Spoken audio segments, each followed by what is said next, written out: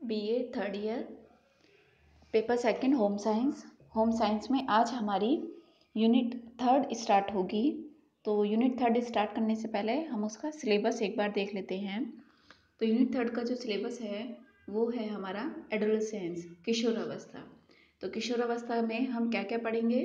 सबसे पहला है हमारा इम्पोर्टेंस ऑफ़ एडोलसेंट पीरियड यानी किशोरावस्था का महत्व दूसरा है, उसके अंदर चेंजेस परिवर्तन कॉन्फ्लिक्ट्स यानी संघर्ष adjustment at home school and community यानी इस अवस्था में बच्चों को क्या क्या संघर्ष आता है उनके जीवन में, उनको किस किस तरीके से एडजस्ट होने में दिक्कतें आती हैं, चाहे वो घर हो स्कूल हो या फिर उनका समुदाय हो।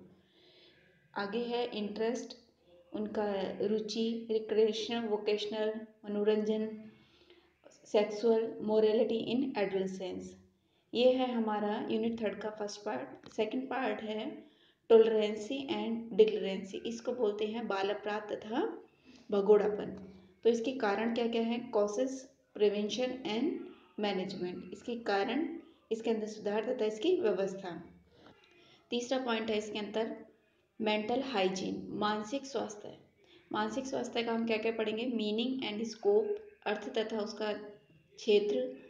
नेक्स्ट है हमारा काउंसलिंग एंड गाइडेंस निर्देशन तथा परामर्श। इसका हम पढ़ेंगे अर्थ इम्पोर्टेंस और उसका वर्गीकरण मीनिंग इम्पोर्टेंस एंड क्लासिफिकेशन तो ये है हमारा यूनिट थर्ड का सिलेबस जिसको हम अब डिस्कस करेंगे।